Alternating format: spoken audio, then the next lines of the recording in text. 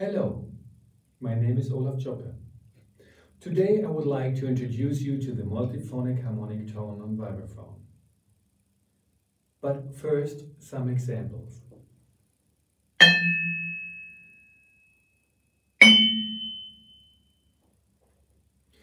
Together with composer Michael Edgerton, we have discovered the multiphonic while doing some research for preparing a new composition dedicated to Bremer Schlagzeugensemble. Most of you are probably familiar with the harmonic tone which sounds two octaves higher than the fundamental. You can produce this tone by putting the pedal down, lightly touching the bar in the middle and hitting the bar in the middle between touching point and cord.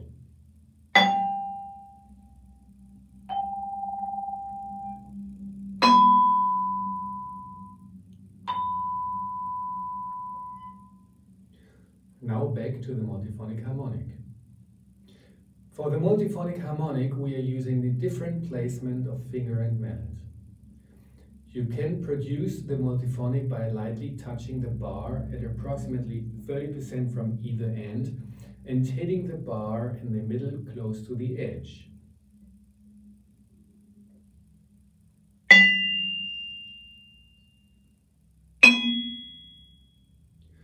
The result is a complex chord consisting of both harmonic and non-harmonic components that change over time.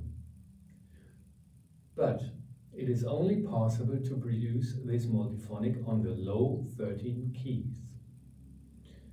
Now I'm going to play for you this octave.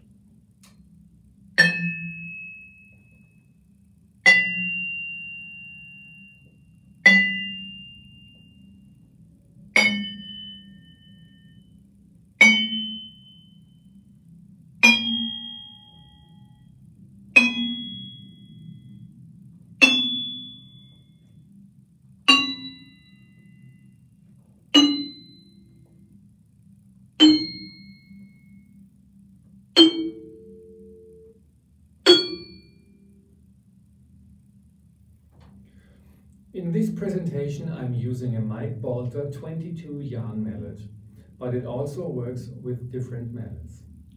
Maybe you want to try it by yourself. Thanks for watching.